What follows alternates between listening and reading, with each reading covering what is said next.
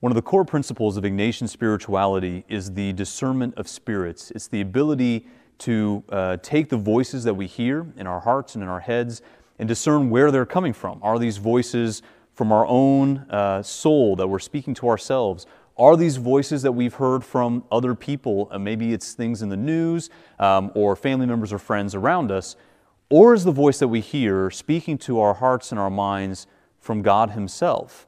And this is an interesting question uh, that Ignatius plays out. He also says there's another voice that, that calls to us, which is that of Satan himself trying to tempt us away from God.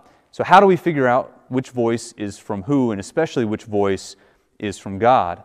And one principle, in a very simplified way, that I would uh, tell you to discern this is when we hear things that agree with us. So, a lot of times when we listen to the news, we go to news sites that already agree with our political uh, leanings. We, we go and read articles that we're going to agree with because it just it builds up where we already stand. It doesn't challenge us.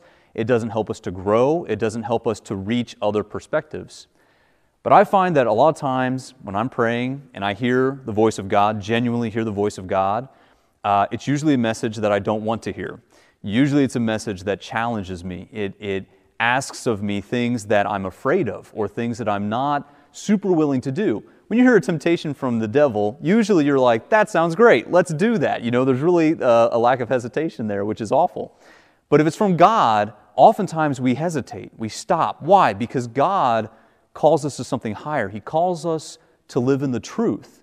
Now, this is hard because it asks us to abandon a lot of those other voices that we hear. It asks us to abandon the voices of maybe some of our family members and friends, the voices of our political communities that we belong to, even our own voices that we listen to. But if we listen to the voice of God, it leads us down a path that we could hardly imagine on our own, one that leads us to true happiness and fulfillment, even if it also leads to conflict along the way with those other voices. So please spend some time in prayer and really pay attention to that challenging voice of God that calls us to something higher than ourselves. Amen.